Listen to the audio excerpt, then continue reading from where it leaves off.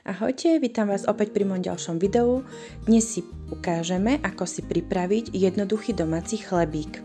Na prípravu chlebíka budeme potrebovať hladkú múku, pšeničnú chlebovú múku, celozrnú špaldovú múku, olej, ocot, letnú vodu, trochu cukru, sol, rastcu, droždie a slnečnicové a lanové semienka.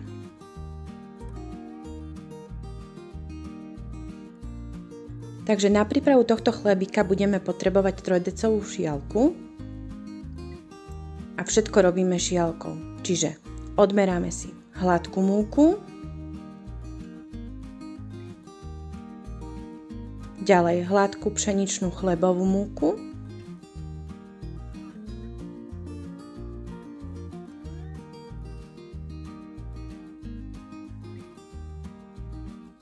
a hladkú celozrnú špaldovú múku.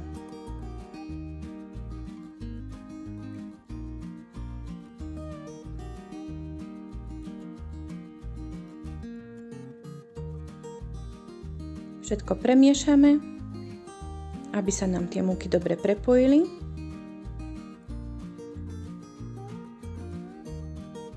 Ďalej pridáme rastcu, lanové semiačka,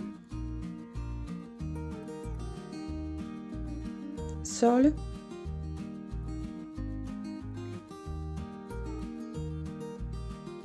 a slnečnicové semiačka. Premiešame a teraz si pripravíme kvások.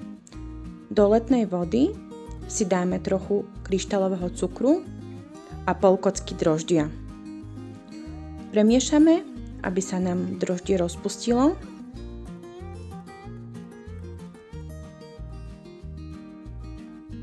a pridáme za lyžicu múky. Je to jedno, z ktoré múky použijete.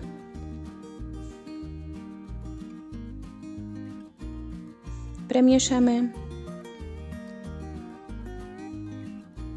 Kvások prikrieme a necháme ho postať nejakých 10 až 15 minút. Ďalej do múky si dáme lyžicu oleja,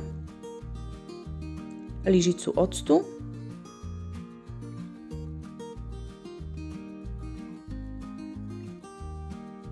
a náš kvások.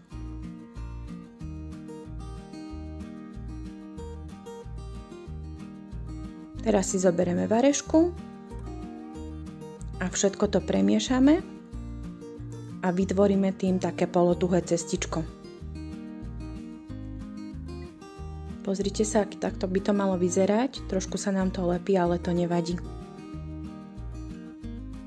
Prikrieme a dáme do chladničky kysnúť najmenej na 12 hodín.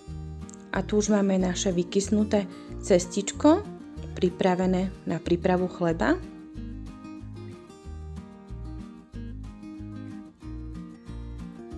Takže na pracovnú plochu si dáme múku.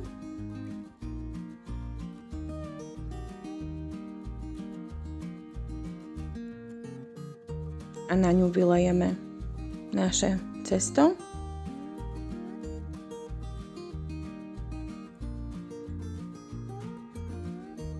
A nič nerobíme, len pár ťahmi, tak to poprekladáme a otočíme na druhú stranu tými spojmi, aby bolo na spodu a vytvarujeme si bochník. Je to na vás, či chcete takýto chlebík alebo okrúhly.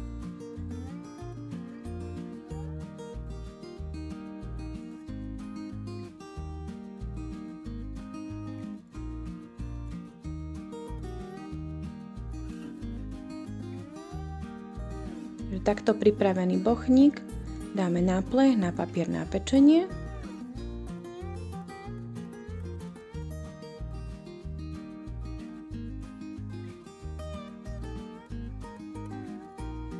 A ešte za chvíľku prikrieme utierkou, pokiaľ sa nám nevyhreje rúra.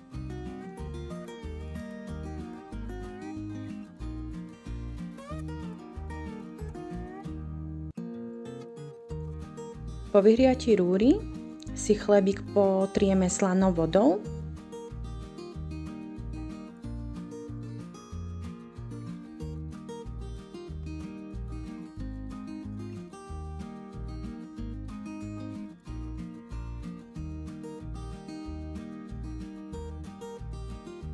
a môžeme ešte posypať lanovými semiačkami. Takto pripravený chlebík dáme piecť do vopred vyhriatej rúry na 230 stupňov na 15 minút, potom teplotu znížime a pečieme na 180 a pečieme ešte ďalších 30 až 35 minút. A takto vyzerá náš upečený rýchly domáci chlebík. Po vytiahnutí z rúry chlebík ešte potrieme slanou vodou a necháme úplne vychladnúť nejaké dve hodinky. Pozrite sa, aký je úplne mekučký a chrumkavý.